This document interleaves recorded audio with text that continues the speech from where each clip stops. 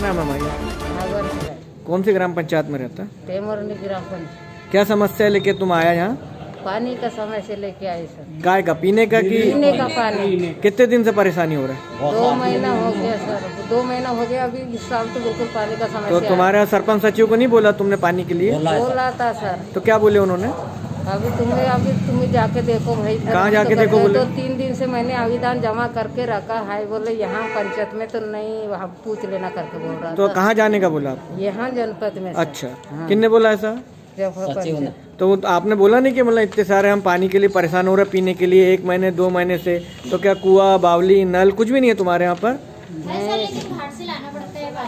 हाँ बहुत दूर पड़ता है। बहुत दूर लाना पड़ता ट्यूबवेल बोर वोर? अच्छा अच्छा। तो मतलब पानी के लिए बहुत समस्या करनी। नहीं तो आपके यहाँ अगर बोर वोर हो तो हाँ। बताए कैसा आप यहाँ पंचायत से भिजवाओ ना सर बोर करने के लिए। अच्छा। तो आपके यहाँ एक भी बोर नहीं है? प्राइवेट बोर हो किसी का जिसको सर। सचिव या पंचायत आगे नहीं, कर, कर बोर किया कुछ भी नहीं है बोर।